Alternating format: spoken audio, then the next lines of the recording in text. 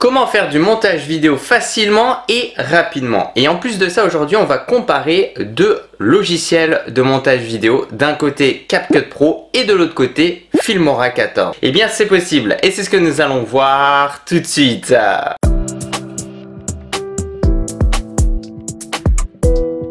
Tout le monde, c'est Christo et aujourd'hui je suis vraiment super content de pouvoir te présenter deux gros très connus logiciels de montage vidéo. D'un côté nous aurons CapCut Pro et de l'autre côté nous aurons Filmora 14. L'objectif ici c'est de regarder un petit peu de les différencier avec aussi les nouveautés, les caractéristiques assez rapidement mais aussi c'est vrai qu'on me pose souvent la question bah, quel logiciel de montage vidéo j'utilise de mon côté? Donc j'y répondrai durant cette vidéo et en plus de ça ce qu'il faut savoir c'est que récemment en fait CapCut Pro ils ont augmenté leur tarif, leur abonnement.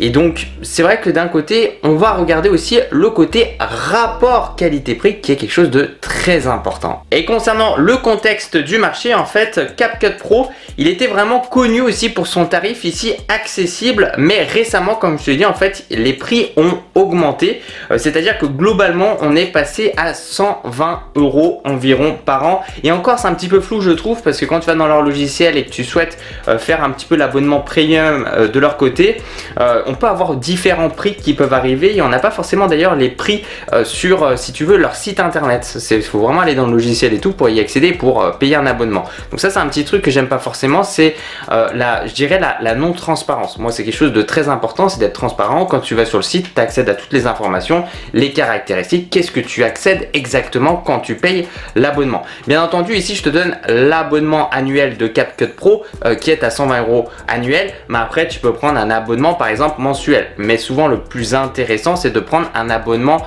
euh, annuel, ce qui permet de réduire forcément les frais. Et quand on regarde à côté, en fait, c'est pour ça que je voulais te faire une vidéo à ce sujet-là et que moi d'ailleurs c'est le logiciel que j'utilise de plus en plus, c'est Filmora 14 euh, qui est à 49,99 euros par an.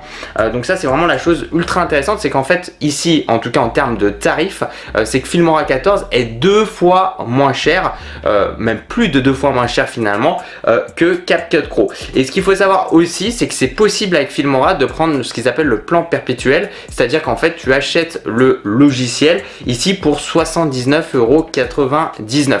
Donc c'est quelque chose que tu peux pas faire vraiment à CapCut Pro, en tout cas que j'ai pas trouvé sur leur logiciel. Donc déjà en termes de prix, euh, on a quand même une grosse différence entre CapCut Pro et Filmora 14. Filmora 14, comme je te dis, est deux fois moins cher, bien plus de deux fois moins cher que CapCut Pro. Après, on va aussi voir, bien entendu, les fonctionnalités parce que pour moi, derrière, euh, il faut regarder aussi derrière bah, qu'est-ce qu'il y a exactement comme caractéristiques qui va permettre vraiment de pouvoir les différencier. Et ce qui est intéressant, c'est que Filmora propose vraiment les mêmes fonctionnalités que CapCut, voire certaines fonctionnalités sont améliorées. Et c'est vrai que c'est assez intéressant. Donc sur CapCut Pro, on va retrouver ce qu'ils appellent le sous-titrage automatique. Et en fait, euh, sur ici Filmora, on aura le speech to text. Et donc il y a quelque chose d'assez intéressant là-dedans, c'est qu'en fait avec Filmora, on a le mode dynamique. C'est-à-dire qu'en fait avec les sous-titres, eh bien euh, tu as euh, finalement un suivi un petit peu euh, du texte qui va permettre de rendre le sous-titrage dynamique et beaucoup plus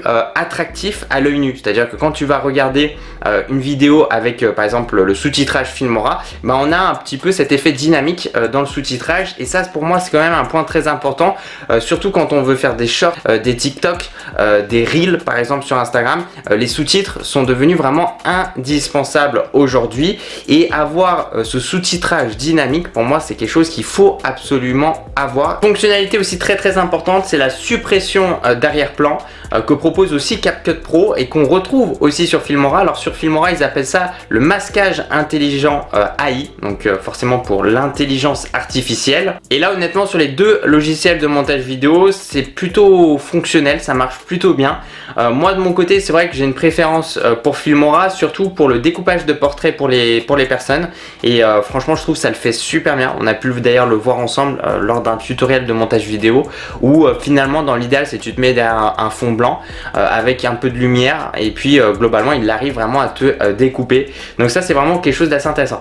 Tu peux aussi masquer des objets. Voilà tu lui dis bah par exemple cet objet là je veux que tu le supprimes. Et ça il arrive à le faire avec l'intelligence artificielle Mais globalement ici, vraiment sur les deux logiciels de montage vidéo, on retrouve quelque chose quand même, je dirais, euh, bah, d'assez intéressant, qui se ressemble un petit peu. Donc là-dessus, on va dire, il y a quand même une petite zone de neutralité. On va retrouver aussi notre fonctionnalité, ce qu'ils appellent le ralenti fluide, qu'on retrouve aussi d'ailleurs sur CapCut Pro, euh, et qu'on retrouve ce qu'ils appellent le speed ramping, avec interpolation en fait d'images AI, donc euh, d'intelligence artificielle proposée par Filmora, qui permet en fait de contrôler ici la vitesse de tes vidéos, et donc ça c'est tip top. On va aussi le retrouver sur les deux logiciels de montage vidéo, donc ça aussi c'est une bonne chose. Et maintenant on va passer aux choses sérieuses avec une fonctionnalité qu'on retrouve sur Filmora 14 mais on ne l'a pas vraiment sur CapCut Pro et que moi j'utilise énormément. En fait il s'agit de ce qu'on appelle le générateur de musique IA. Et cette fonctionnalité sur Filmora j'adore, elle est totalement dingue. C'est-à-dire qu'en fait, tu peux créer en fait directement depuis Filmora, eh bien une musique via l'intelligence artificielle. Donc ça c'est vraiment trop trop bien. Tu peux choisir d'ailleurs la durée de la musique, tu peux choisir même un petit peu euh, quelque part euh, eh bien le tempo, si tu veux que ce soit une ambiance euh, heureux, triste, dynamique, etc. Enfin vraiment tu as plein plein de choses que tu vas pouvoir personnaliser et ça va te générer une musique et comme je te dis même la durée. Donc par exemple moi ce qu'il faut savoir sur ma chaîne YouTube depuis un bon petit moment, toutes les musiques qu'il y a en fond sur ma chaîne YouTube, elles ont été générées par le générateur de musique IA proposé par Filmora et ça pour moi c'est un énorme plus qu'on retrouve sur Filmora 14 c'est ce générateur de musique. Et tu as même d'ailleurs un générateur de bruit sonore euh, sur Filmora. C'est à dire tu mets euh, le bruit d'une arme euh, le bruit d'une porte qui se ferme. Voilà tu le mets sous forme de texte et derrière il te génère le bruit sonore avec l'intelligence artificielle. Et ça c'est dingue. Et ça te permet aussi de pouvoir par exemple moi tranquillement bah, pouvoir mettre du contenu sur YouTube avec une musique quelque part euh, qui euh, n'aura pas forcément de copyright etc donc c'est pour éviter tous les soucis de copyright. Et ça vraiment Filmora bravo ils ont géré sur ça. Et on va vraiment retrouver aussi un panel de fonctionnalités directement disponible sur Filmora 14 d'ailleurs qu'on peut tester quelque part gratuitement même s'il y a une version payante. On peut tester certaines fonctionnalités et ça je trouve ça bien. Alors que CapCut Pro c'est un peu plus compliqué de tester certaines fonctionnalités euh, qui sont en fait payantes de base et qu'on peut même pas vraiment tester. Donc on peut pas forcément se dire est-ce que c'est une bonne chose ou pas. Donc ça pour moi c'est un problème. Moi j'aime bien tester avant un produit, avant forcément ici de, vraiment le consommer euh, par la suite. Et euh, moi ce que j'aime bien aussi c'est la possibilité avec Filmora, euh, avec l'intelligence artificielle, de pouvoir transformer une vidéo en 16 neuvième en 9 16e, c'est-à-dire de passer d'une vidéo en format YouTube pour te faire simple, en une, en une story, en un reel, en un TikTok par exemple, puisqu'il y a le cadrage automatique qui va suivre ton visage, etc. que tu peux aussi modifier à tout moment et ça je trouve ça bien. D'ailleurs on va avoir une fonctionnalité qu'on aura sur les deux, CapCut Pro et sur Filmora 14, que moi j'aime beaucoup. C'est ce qu'ils appellent un peu la détection de silence. Et ça, alors ça, je l'utilise pour le montage vidéo, c'est totalement dingue. Là, on va le retrouver sur les deux. C'est-à-dire qu'en fait, il va automatiquement faire un peu une partie, une grosse partie de ton montage vidéo et il va couper en fait euh, bah, toutes les séquences euh, lorsque tu parles. Et toutes les séquences où tu ne parles pas, où il n'y a pas de bruit, et eh bien seront supprimées et ce qui va te permettre tout de suite, et eh bien un petit peu avoir ton pré-montage vidéo et ça va te permettre de gagner en temps et surtout en productivité. On va aussi retrouver une fonctionnalité ici sur Filmora qui va te permettre d'améliorer la netteté, d'ajuster les couleurs et d'appliquer des effets IA ici vraiment pour un look professionnel. Donc c'est vrai que de mon côté en fait j'ai vraiment plus un penchant concernant Filmora 14 en termes de rapport qualité-prix mais surtout en termes de fonctionnalité où je trouve que c'est légèrement plus complet en fait sur Filmora 14 euh, que sur CapCut Pro. Après quand on va regarder l'interface, on va se retrouver un petit peu sur la même chose sur ces deux logiciels de montage vidéo.